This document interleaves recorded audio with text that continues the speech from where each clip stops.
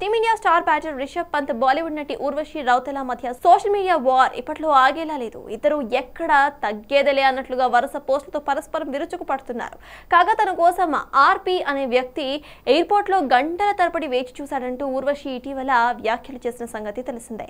అంతేకాదు తన phone call కోసం పిచ్చివాడిలా ఎదురు చూశాడని అయితే అతడి పేరును మాత్రం వెల్లడించలేనని చెప్పుకొచ్చింది. దీంతో ఆర్పి అంటే రిషబ్ పంతే అంటూ ఊర్వశి వ్యాఖ్యలను హైలైట్ చేశారు నెటిజన్స్. ఇప్పుడు స్పందించిన రిషబ్ పంత్ కొందరు ఫేమస్ అవ్వడానికి అబద్ధాలు వాడతారని అక్క ప్లీజ్ నన్ను వదిలే అంటూ పరోక్షంగా ఊర్వశిని ఉద్దేశించి ఇన్స్టాగ్రామ్లో కౌంటర్ ఇచ్చాడు. ఇందుకు బదులుగా ఊర్వశి సైతం తమ్ముడు నువ్వు పిల్ల బచ్చ బ్యాట్ బాల్ కే అంటే ఆటకే పరిమితమవు అని ఘాటుగానే స్పందించింది.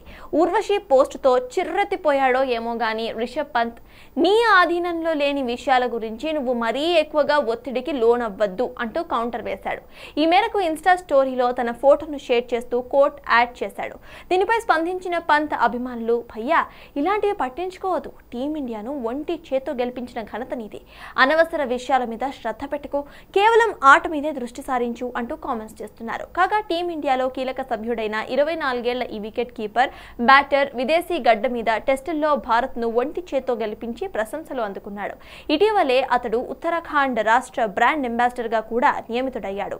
Asia cup twenty twenty two ఆడే భారత జట్టులోనూ చోటు దక్కించుకున్న పంత్ మెగా ఈవెంట్కు సన్నద్ధమవుతున్నాడు.